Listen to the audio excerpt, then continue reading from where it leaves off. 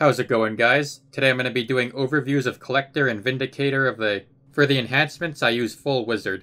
For the combo I use 4-5-2 and then 3 if I need healing. This class isn't that great at soloing but it should still be able to handle most of the weaker bosses in the game. Its DPS isn't too good either as the class runs into mana problems and the rank 10 passive isn't that reliable. Do not use this class for farming as it has no range, AoE, or sustainability.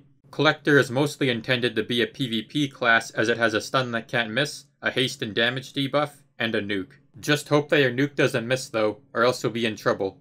When it comes to support, all this class can do is stun and lower the enemy's haste and damage, so it is not very useful in a party. Now for Vindicator of They. This class is rare, but since it's very similar to Collector, I'm going to go over it anyways. So the key differences are that your 2 skill doesn't miss, but as a trade-off it doesn't inflict damage. Its cooldowns are also shorter, but it has higher mana costs, and because of those differences, Vindicator is better suited for PvP than Collector. So if you're looking for a PvP class, Collector would be a decent choice, but just keep in mind that PvP is pretty much the only thing it's good for, so if you want to kill bosses or farm mobs, you're better off getting something else.